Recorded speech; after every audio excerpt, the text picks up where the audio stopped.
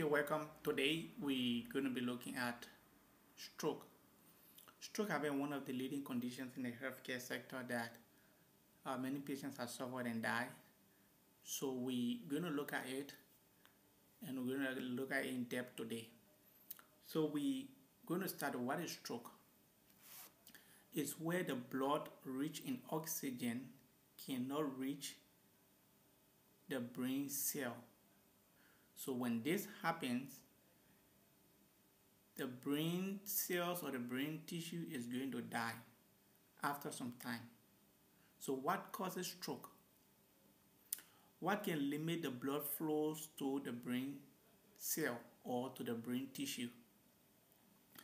Blockage of the arteries or blockage of the vessels that take blood to the brain tissue can get blocked so when they get blocked, the brain cells or the brain tissues cannot receive the adequate blood to carry on the brain function because there is a blockage within the wall of the arteries.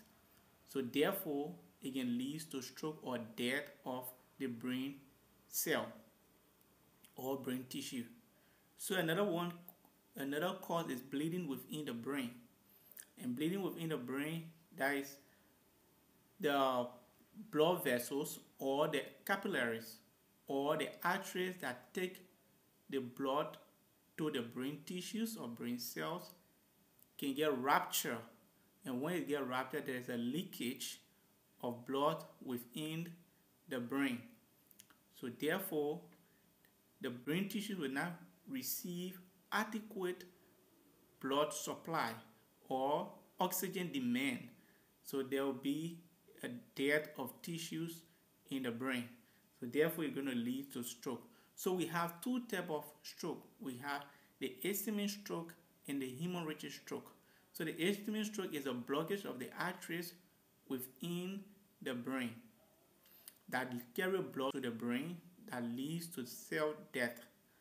And also, hemorrhagic stroke is a leakage of blood within the brain that leads to least oxygen demanded by the brain that will also cause stroke. So in today's uh, lecture, we going to look in depth with ischemic stroke. Like we said, an ischemic stroke occurs when the blood supply to the brain is interrupted or reduced so when there's an interruption of blood supply to the brain or reduced, preventing the blood tissues from getting the adequate oxygen or nutrients to carry on the brain function is referred to as a ischemic stroke. So like here in this diagram, you are seeing here, there is a normal arteries that carry blood to the brain. So once the artery have no blockage within the wall of the artery, the oxygen demand in the in the blood supply to the brain is going to be as normal, right? But here you see here this is a blocked artery, means that it's, it's reducing the blood flow within the brain. So therefore the oxygen demand by the brain cell here is going to get reduced and what after some time or period of time the brain is going to get maybe cell death because there is no much oxygen supply to the brain. But what actually causes stroke? Or what causes ischemic stroke right? Because we already tell you about hemorrhagic stroke and ischemic stroke. But what causes ischemic stroke? One has to do with embolism Embolism is a clot of blood within the body that breaks down into smaller clots and move upward through the capillaries or through the atriums or that moves through the atriums and go directly to the brain and get a brain clot. So example is a clot that is within the heart. So maybe the problem could be a patient with the valve problem, heart valve problem or artery fibrillations. So patients that have artery fibrillations, we had a clot of blood and these clots going to break down into smaller clots and move into the arteries to block the wall of the arteries that travels into the brain and stop the blood from flowing. That's one. Two, we have what we call tuberculosis. Tuberculosis is a clot within the walls of the artery. Like now you see this clot here is tuberculosis. So means that this clot was built up within the wall of the arteries here. So therefore it's going to limit the flow of the blood directly to go to the brain. We need to look at the clinical manifestation of an ischemic stroke patient. But before understanding the clinical manifestation of ischemic stroke patient, we quickly have to look at the anatomic and physiology of the brain, right? That will give us an insight on what are some clinical manifestation of an ischemic stroke patient. The one has to do with the brain. The brain has a cerebrum. The brain is uh, structured as a cerebrum. So the cerebrum has two hemispheres, and these two hemispheres have what we call four lobes, right? It have four lobes. We have the frontal lobe, we have the temporal lobe, and then we have the optical lobe. So these various lobes are responsible for different function. So like for example here, the, the frontal lobes. In the frontal lobe, the frontal lobe is responsible for what we call thinking, it's responsible for uh, feeding, it's responsible for planning, and it's responsible for personalized thing. And you also look at the temporal lobe. In the temporal lobe, it controls speech. The temporal lobe is responsible to control speech and other things. But here at, the, uh, at here you see the cerebellums. So in the cerebellums here, it control movement, body movement and coordination. So it's going to do that. So if a patient is, a, is, is presented to you in a facility with any of these signs and symptoms or any of the clinical manifestations we are going to display, you're going to have a broad insight as which part of the brain have been affected. So some clinical manifestations of a patient presenting to you or some sign and symptom of patients with uh, what we call ischemic stroke. They are sudden numbness or weakness of the face and arm, legs, especially on one side of the body. Why we are saying one side? Because it's not a paralysis. Paralysis is when the total body becomes paralyzed. But this occurs only one side of the body. So we have a sudden confusion. The patient is going to come up with a sudden confusion. The patient have, we're going to have what we call trouble in speaking. The patient is also going to have trouble in seeing on one or both sides of the eye. The patient is going to have trouble in walking, uh, dizziness, loss of balance or coordination, and several headaches with unknown cause. These clinical manifestation or sign and symptom will show depends on which part of the brain was affected. It, for example, was a temporal lobe. In the temporal lobe, what's going to happen is that the temporal lobe is responsible to coordinate speech. To coordinate speech. So if the artery that carry blood to the temporal lobe was blocked, definitely your patient is going to you know, have a sign and symptom of speech disorder.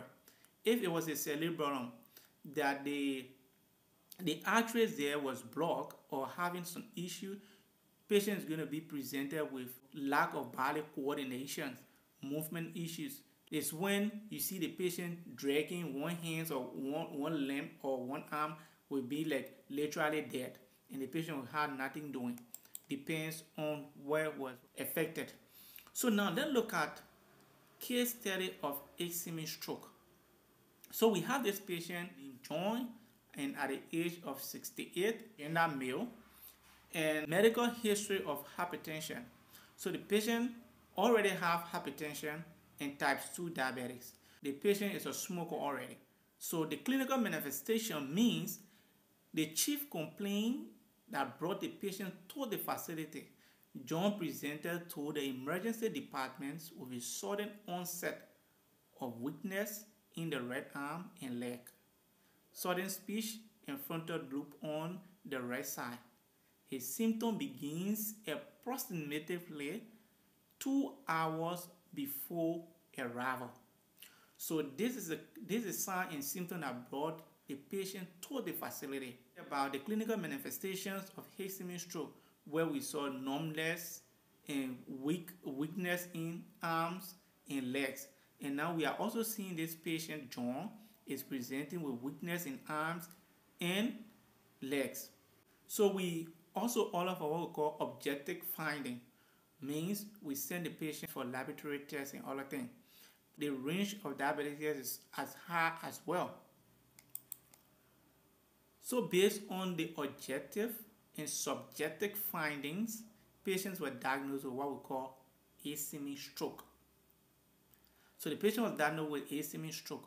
So because the patient, after running on all these investigations, we found out that this patient had what we call ischemic stroke. Now, we jump quickly to lifestyle modifications because we cannot do medication plan for you or for or in this video because uh, to every patient there are different underlying factors. That's one thing. There are different genetic alter there are different responses to drugs and there are different things that will lead to the condition and there are different complications of every patient so until you see your doctors to advise you on what to do and what not to do we cannot provide you a medication. But the patient had a medication plan. So we'll go with lifestyle modification. Lifestyle modification has to do with if you have been diagnosed or even before being diagnosed what are some of those things you can do to prevent ischemic stroke or keep doing to improve your condition, right? So we say the person should have choice of healthy food and drinks. That is one thing. Choosing healthy meals, the patient should be able to eat maybe healthy food and get healthy drinks to prevent them from getting stroke or to help them to improve their situation. Keep a healthy weight. That's another lifestyle modification. Having overweight or obesity may increase your risk of stroke. We know people who, most people who are obese usually have high cholesterol level. So what happens when your cholesterol is high? There will be a, a cholesterol crumbs that's going to affect, that's going to get clogged into the arteries that will lead to ischemic stroke. So always try to, you know, maintain your obesity level. Do exercise regularly to help to dilate your blood vessels that there will be easy flow of blood through the arteries. And if you are a smoker, you have to quit smoking. If not, you stop smoking completely. So another lifestyle modification, if you're alcoholic, you have to stop alcohol intake and also check your cholesterol level like I spoke about it already. Cholesterol stand those that sometimes with cholesterol they stand a high chance of getting what we call ischemic stroke.